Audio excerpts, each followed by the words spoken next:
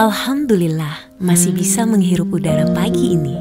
Bersyukur atas berkah yang diturunkan. Bersyukur selalu Bersyukur bisa merasakan kebahagiaan orang lain dan hangatnya kebersamaan.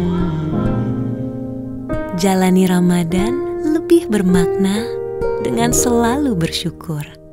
Wardah cantik dari hati.